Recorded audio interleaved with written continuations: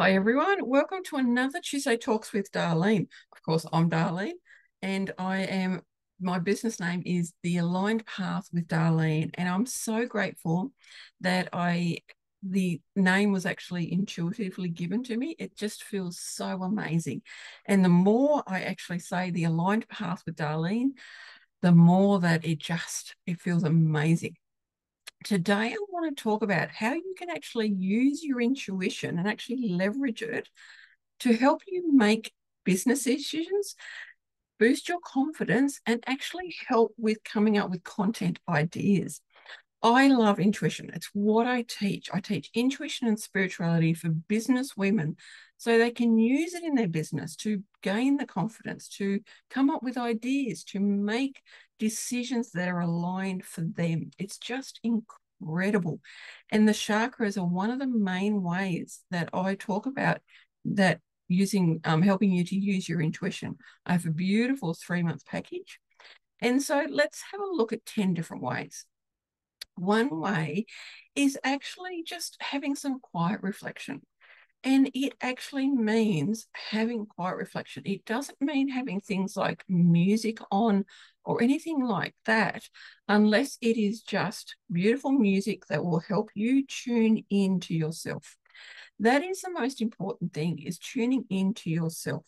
So please take your safe, take your take yourself to a safe space so that you can do some quiet reflection. You may just want to sit there with your eyes closed and allow things to come in. Now, thoughts, patterns, and beliefs are going to come up. That's normal. The more that you learn to do quiet reflection, and it doesn't need to be long. Some people talk about how they sit in quiet reflection for like an hour. It doesn't need to be. Sometimes five minutes is enough. It is however long that you want to go for is perfect. Again, quiet reflection is the first one. Learning how to trust your intuition is another one. The more that you use your intuition and trust it, the, the stronger the trust will become. And when you're making a, a business decision and something just comes in like that, learn to trust it. Because if it's instant, and especially if it's not negative, then that's you know that really is your intuition coming through. You can get thoughts come in like oh i should do that. If the words should must all of that come up that's not intuition. Intuition is just boom. Like my business name that was intuitively intuitively came in the aligned path. It just came in. There was no hesitation no nothing. So learning to use your intuition and trust it is so amazing remembering that when you're actually talking, like me talking, I'm actually listening to myself as well. And when you do mindful listening, when you really, really listen without thinking about what you're going to say next, you can see I'm channeling. So I'm not thinking about what I'm going to say next. When you just beautifully listen without thinking what you're going to say next, that is mindful listening because what you're doing is you're putting your beautiful energy and holding a safe space for someone to talk.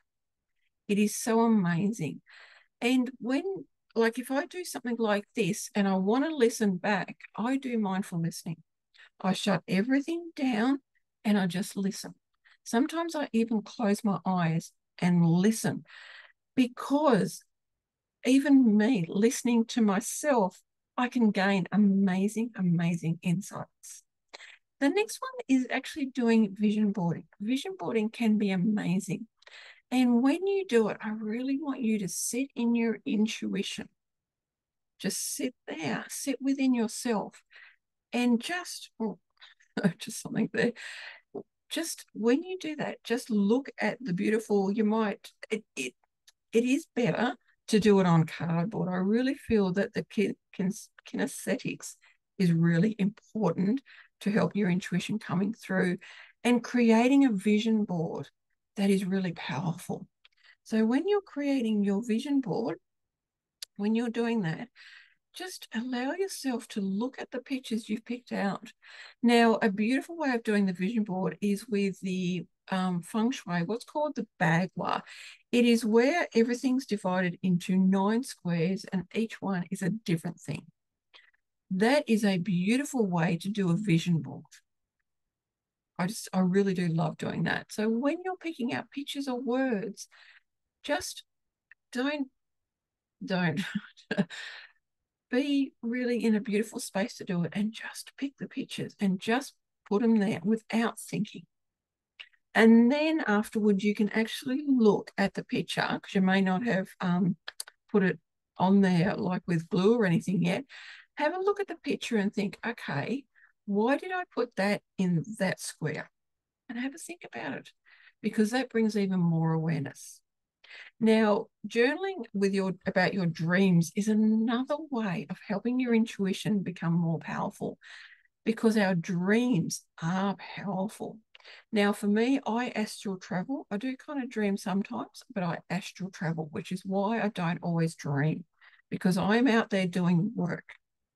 And I want you to learn how to create your own dream journal because you can actually look up what maybe you've seen a tiger in your dream. You can look up what it means. First, I would love for you to write down what you've seen in that dream and what it actually means for you first before you think about Googling, because that is your intuition. When you write down what it means for you without thinking about it, boom, intuition. It's a really beautiful way of doing it first.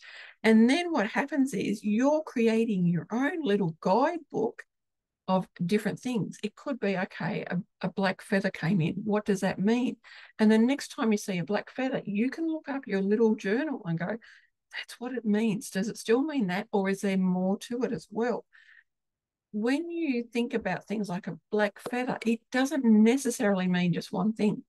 Eventually, you're going to have a beautiful journal where you can just flick through and see what it means. Another one is body awareness. Now, this one, I really want you to make sure you're in a safe space.